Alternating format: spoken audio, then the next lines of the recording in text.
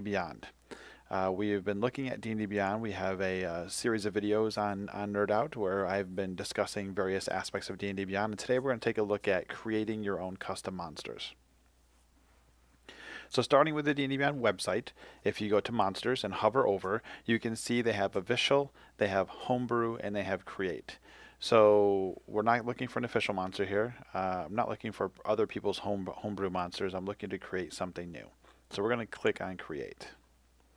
One of the good things about creating a homebrew monster using D&D Beyond is you can go through and actually choose a previous monster, um, and you can choose a monster and then copy it and then just make edits how you want to do. So let's say you're going to make, as you can see, I have some homebrewed uh, I put an at symbol in front of my homebrew creature so they come toward, towards the top. Um, I have some home some goblins here that were not in D&D Beyond 4. These are actually uh, monsters that I got from a book from Nord Games. So if you are looking to create a monster, we'll go with goblins again because goblins are very popular. So if we do a search for goblin, you see all the goblin things come up and I'm just going to choose goblin and now I'm going to create a monster based off of the goblin. I could also choose a monster type and filter this way. If I wanted to choose dragons, this would filter by all the dragons. So there are multiple ways to go about uh, doing that. I'm going to choose all, and again, I'm, we're going to go with goblin because everybody loves goblins. No, not really. I'm being sarcastic. Um, you can also create from from scratch. So creating from a template. Um, so here here we go. We have copy of goblin uh, you can go here. You can rename him into, we're going to say he's a goblin alchemist. Uh, and maybe he's a you know a little goblin. And we're not going to do a lot of changes to, to Goblin. Um, we're just going to do, he's still a humanoid, still a goblinoid, uh, still small, he's not a swarm, still neutral evil. Uh, actually, you know what, maybe, maybe this guy's chaotic evil. Maybe the alchemist is like one of those crazy mad scientist types and he's just a little nuts. So he doesn't follow anything except chaos and just wants to cause problems everywhere. We'll make his challenge rating stay the same because uh, really I'm doing a very minor change here. I'm not going to do a really big change. You can do much more of a change, but we're gonna, we'll just do a small change here. But as you see, you can you can add new special traits if you wanted to. Um, you know, like the goblins have nim nimble escape. Uh, you know, the kobolds have like the pack tactics and that sort of thing. So you could put some more things here. So we can create a trait here and we can format it just like other ways of formatting that wizards and other people use. So we're going to go with um, accurate thrower. We'll call these guys an accurate thrower. Put the period in just like you see above and we'll say the goblin alchemist gains advantage on ranged attacks with Alchemist Fire, Alchemist Fire, if the throw is made within 20 feet. So we'll just say for the heck of it, uh, that's what we're doing. We can bold, we can italicize it just like above you see up there. And now bam, another point to this too, you may want to change this up here to say Goblin Alchemist. Um, oops, misspelled. Uh, as you can see, it does actually underline and stuff if you do mis misspell things like a good word processor does. Um, so there you go, Goblin Alchemist can take, you know, that, this, this. So there we go. If he if he's within 20 feet and he's throwing his alchemist fire, we will uh, give him advantage on that throw. Uh, a little note here. Let's go up and open up equipment because I don't remember off the top of my head alchemist fire what the statistics are on it. So if we look up alchemist fire flask again, what this is good for. Um, Oh, and see, we see here, this is a good, good point. This is why I looked it up. You can only throw the flask up to 20 feet to start with.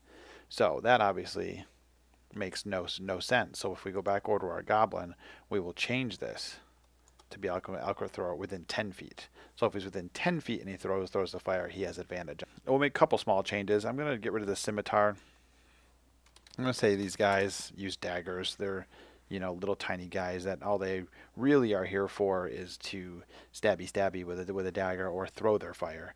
Um, and you know, obviously a dagger does 1d4. Uh, we'll keep everything else the same, so we don't have to deal with the to hit bonuses and such. Although if you are making up a monster, it is pretty easy to determine what their hit bonuses are.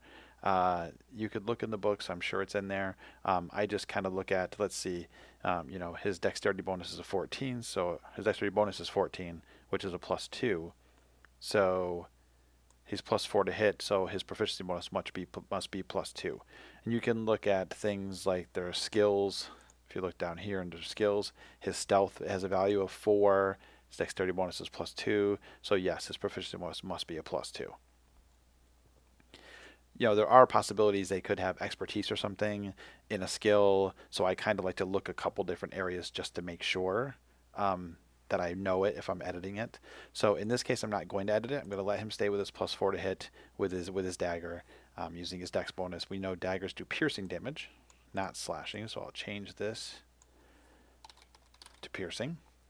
Um, he's going to get rid of the short the short bow. So we're going to change this to alchemist and again, I misspelled, so Alchemist Fire. Uh, ranged weapon attack, plus 4 to hit. Range is 20, so we'll just go with 20 feet. And now let's take a look at Alchemist Fire. Uh, range attack against creature object, treating Alchemist Fire as an improvised weapon. So therefore, he shouldn't have proficiency in it. That because he is a um, Alchemist Fire wielder, that he not that he has proficiency in it. They've used it for a long time. They they know what they're doing. So on a hit, uh, the target takes 1d4 fire damage at the start of each of its turns. A creature can end this damage by using its action to make a DC 10 dexterity check to, extinguish, to extinguish the flames. So I'm going to take some of this and I'm going to copy it. Another great feature of D&D Beyond, if you need to, you know, copy and paste to uh, a character sheet or anything else, you can easily copy and paste it. I like to do this a lot if I'm having an email conversation or a text conversation with somebody um, and we're talking about rules or something and we need you know official language you can just copy paste it so over here we'll say that um, he's a plus four to hit because he's he's proficient as we already discussed um, Oh, let's take a quick look here. It's alchemists plural. So I want to be kind of accurate here. So instead of alchemist fire, we'll make it alchemists fire. I'm going to say on hit does one point of fire damage. And, and then we'll edit that right over there. Target takes 1d4 fire damage at the start of each of its turns. Creature can end its damage by using its action to make a DC 10 dexterity check to extinguish the flames. Um, I, I don't like the idea of uh, not doing any sort of damage at all with it. You know, we'll say that the one point of fire damage um, is, you know, from like the initial fire. Um, you could even maybe argue one point of piercing damage, maybe from some glass, which actually that might even be better. So why don't we change that? We'll say it does one point of piercing damage from the glass hitting and breaking and the little shards of glass hitting the person. Um, and then the target takes 1d4 fire damage at the start of each of its turns, and a creature can end this damage by using its action to make a DC 10 dexterity check to extinguish the flames. So that's the top part. And then you go down here. You know, obviously, if you have more stuff to put in, you can put reactions in. If they have like a reaction or legendary actions, if it happens to be a legendary creature, uh, I think you have to click. I think it's down on the bottom. There's a is legendary or something right there. So there it says is legendary. So if you click this, now all of a sudden this is active up here as, as, as you see. So he's obviously it's just a regular goblin alchemist. He's not a, he's not a legendary goblin. Um, so we're not going to have that. Reactions, if you want to put reactions in, you know, characteristics, descriptions of like the monster. Again, it's just a goblin that I'm already copying, so going to do anything there. Here's where you can edit things. Um, it if you don't ever edit creatures or create your own monsters. Um, I would suggest doing minor tweaks to the things at first. You know, things like, you know, maybe change the dexterity score up or down a little bit. And by doing that, do appropriately what you would do with a character. So if I were to change the dexterity to a 16, well, now all of a sudden, okay, what do I know is affected by de dexterity? Um, I know that, you know, uh, my armor class is going to change uh, it's going to go up or down. In this case, up. Uh, my attack bonus, if I'm using a light weapon like a dagger, is going to go up, or a ranged weapon like my alchemist fire is going to going to go up. You know, stealth, my skill down here would would go up because I'm changing the dexterity bonus. I'm not actually going to change it here, but that's how I suggest that you do it. Also, looking at monsters and doing this exact thing first, I find really helps you learn about creating monsters. Because something I didn't realize for a while, creatures based on their size have different hit dice. So small creatures have a die six, for instance. Medium creatures have a die eight. Large have a die ten. But you know, and more and more. So if you take a look at different monsters as you're creating them or editing them in this case, like I'm doing, you'll start to see those kind of patterns, and and you'll learn. Um, I don't remember where it is in the books. It may be probably in the, the Dungeon Master's Guide under like, creating a monster from scratch, um, but I don't remember off the top of my head. Um, you can go, you can change saving throw proficiencies, you can do damage adjustments, condition immunities. You can choose different environments for your monsters, override languages if, if you want to, um, for things that are not in the list down here. So, like only languages it, it, it knew in life, for instance. Uh, if you have a, mon- a standard language you want it to speak, you can just go down here and you can look here. You can delete these. Um, you could add a language. If you click add, a, uh, here, here's a perfect example. Uh, if you see changes may not be saved, you don't want to leave this yet. So I hit cancel. Before you leave this top section, you want to save. I've made that mistake a couple times, so just remember to do that. But you can add a language. You can add senses if they, you know, dark vision if they don't have dark vision, or you know, you know, it's you know any of the other visions or sights you can add in here. Um, you can add skills, uh, and you can add movement. So here's all your options for little parts that you can add to, to the top. Um, and that's basically it. Um, and so that's how you edit a creature that's already been uh, created. Um, so we're going to skip out of this. I'm not going to save anything. And we're going to go to create from scratch. Creating from scratch, as you see, looks very similar to copying one.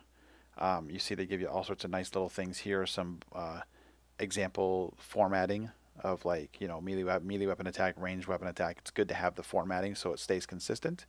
Uh, so you have all that there. Same thing with reactions and legend reactions and those sort of, sort of things. This is all strictly done by hand. So, you know, you could come up with some really wonky, crazy stuff here if you really wanted to. Um, and the bonus to that is you can do whatever you want. The disadvantage to that is you may not remember some things. Like I said, editing a goblin, I remembered that, you know, my hit die was die six because they were small. You know, you can make a tiny creature which I believe are die fours, but you can even die die twelves just because you wanted your creature to have lots of lots of hit points, and you didn't realize that there's already kind of a mechanic in place to help to help you with that. So personally, for me, uh, I use this sparingly. I don't use create a monster from scratch very often, if ever. Um, I prefer to just grab another monster, edit it, even if I change a ton about it. Uh, I sometimes just go to let's like let's go to monsters. We'll go to create. Um, and I'll just you know know like roughly the you know the CR of, of, of a monster that I want. So let's say actually, um, let's say I go to a monster here. I'll go to an official monster, and I just I'm not really sure, but I want to create a monster that's CR4. So I'll choose challenge rating four to four. I'll filter my monsters, and I'll be like, okay, so something that maybe is close you know, to like what I want. Like maybe it's a maybe it's just a beast, and that's what I'm looking for. I'm I'm looking to create a beast. So I look at elephant. Okay, so elephant's a, a CR4 creature. So now let's go create a monster. Let's choose my elephant. Create. And now here I can create a beast that is CR4 and I can change anything I want but I can at least keep some things kind of close. Uh, like it has die 12 hit points because it's a big creature. Um, but that's something I may I might share. A huge creature, actually not big. Big isn't actually a size, so we'll, so we'll go with huge. Um, so maybe I want it to be huge. Although remember, if you do change its size, you should change its hit dice. So as you see here, you know it's got eight die 12 hit, hit dice. So I may want to keep that similar with my new creature. Um, you know, beast it has an intelligence of three, so I'm going to say my creature, you know, whatever the creature is, it's got roughly an intelligence of three. You know, and very similar things. Um, so it just kind of helps you decide how to do your creature. Uh, you know, you can keep the you know the to hit bonuses pretty much the same, you know, depending on what creature you're making and how much damage it does. Um, roughly the same. Because again, if it's a level four or a CR four creature, you know, it should be doing roughly this much damage. There are rules in the DMG that help you with that. Um, so I tend to like when I create new monsters to just grab a CR of a creature that I already you know know it's kind of similar maybe um, and I grab that and then I use that as a template to create my new creature. So that's the basis um, of how to create a new monster. Uh, I hope this has helped you. Uh, I, I, know that uh, took me a little while to figure out how to do it and do it accurately and well without things becoming you know a little broken or skewed. But uh, hopefully this will help you uh, on your journey and you can not make a few of the mistakes that I made the first time I did it.